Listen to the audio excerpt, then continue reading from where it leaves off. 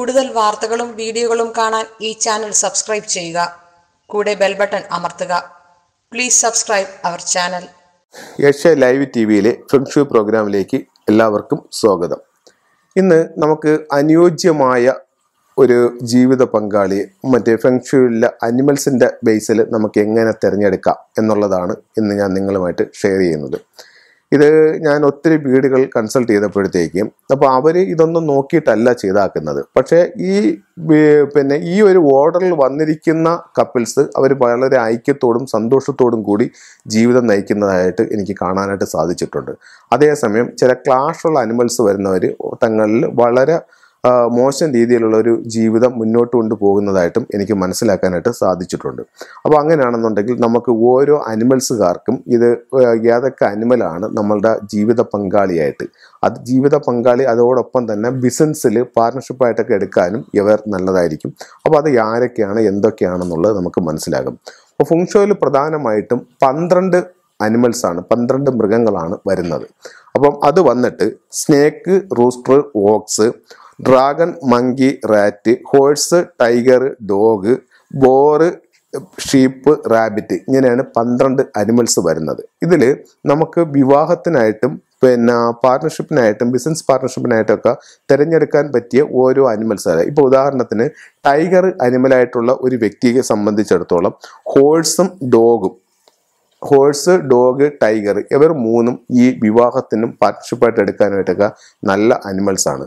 അപ്പോൾ ടൈഗർ അനിമലായിട്ടുള്ള ഒരു വ്യക്തിക്ക് ഇപ്പോൾ ഹോഴ്സിനെയോ ഡോഗിനെയോ ജീവിത പങ്കാളിയായിട്ട് സ്വീകരിക്കുന്നത് ഫുങ്ഷയിൽ നല്ലതായിട്ട് കണക്കാക്കുന്നുണ്ട്. അതുപോലെ സ്നേക്ക് അനിമലായിട്ടുള്ള ഒരു വ്യക്തിക്ക് റൂസ്റ്ററും ഓക്സും സ്വീകരിക്കാവുന്നതാണ്. അതുപോലെ തന്നെയാണ് ഡ്രാഗൺ അനിമലായിട്ടുള്ള ഒരു വ്യക്തിക്ക് മങ്കിയും റാറ്റും സ്വീകരിക്കാവുന്നതാണ്. ഇനി ബോർ അനിമലായിട്ടുള്ള വ്യക്തിക്ക് ഷീപ്പും റാബിറ്റും സ്വീകരിക്കാവുന്നതാണ്. ഇത് വിവാഹത്തിനും പാർട്ട്ണർഷിപ്പിനായിട്ട് ഈ ഒരു പിന്നെ പൊരുത്തം വളരെ ഉത്തമമായിട്ട് ഫുങ്ഷയിൽ പറയുന്നുണ്ട്.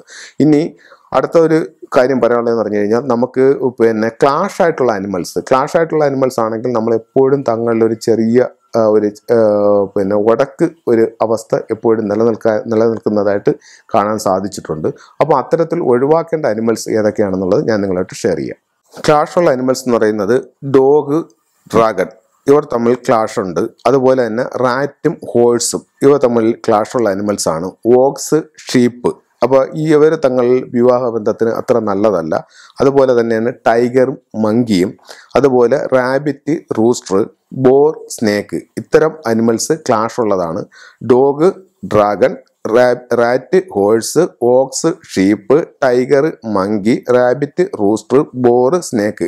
ഇത് പുരുഷൻ വന്നാലും സ്ത്രീ വന്നാലും ഈ രണ്ട് വരുത്തങ്ങളിലുള്ള തങ്ങളിലുള്ള അനിമൽസ് ഒരു അത്ര ബെറ്റർ ആയിട്ട് ഫുങ്ഷനിൽ പറയുന്നില്ല. അത് ക്ലാഷ് ഉള്ള അനിമൽസ് ആയിട്ടാണ് കണക്കാക്കുന്നത്. ഇനി ഇതിനകത്ത് പറയാനുള്ള മറ്റൊരു കാര്യം എന്ന് പറഞ്ഞു കഴിഞ്ഞാൽ ഓരോ വ്യക്തികളുടെയും അല്ലെങ്കിൽ ഓരോ അനിമൽസിന്റെയും സീക്രട്ട് ഫ്രണ്ടുകൾ ഏതൊക്കെയാണെന്നാണ് നിങ്ങളുമായിട്ട് ഷെയർ ചെയ്യുന്നത്.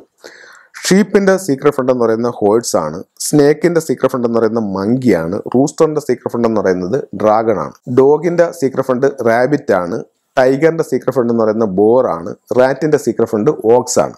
അപ്പം ഇത്തര ഇതിന്റെ അനിമൽ കാർഡ് നമുക്ക് വാങ്ങിക്കാനായിട്ട് കിട്ടും. ഇത്തരത്തിലുള്ള അനിമൽ കാർഡ് വാങ്ങിച്ച് നമ്മൾ പേഴ്സിനകത്ത് സൂക്ഷിക്കുകയാണെന്നുണ്ടെങ്കിൽ നമുക്ക് എന്ത് കാര്യത്തിനും അദൃശ്യമായിട്ടൊരു സപ്പോർട്ടിങ് ഉണ്ടാവും. ഒരു ദോഷപ്പെട്ട സമയമാണെങ്കിലും അതിജീവിക്കാനായിട്ട് ഈ കാർഡ് കൊണ്ട് നമുക്ക് പറ്റുമെന്നാണ് ഫുങ്ഷയിൽ പറയുന്നത്. ഇത്തരം കാര്യങ്ങൾ നിങ്ങളുടെ ജീവിതത്തിലേക്ക് നിങ്ങൾ പിന്നെ മനസ്സിലാക്കി നോക്കൂ. ഒത്തിരി മാറ്റങ്ങൾ നിങ്ങൾക്ക് ഉണ്ടാവുന്നതായിട്ട് മനസ്സിലാക്കാനായിട്ട് സാധിക്കും. കൂടുതൽ വാർത്തകളും വീഡിയോകളും കാണാൻ ഈ ചാനൽ സബ്സ്ക്രൈബ് ചെയ്യുക. കൂടെ ബെൽ ബട്ടൺ അമർത്തുക. Please subscribe our channel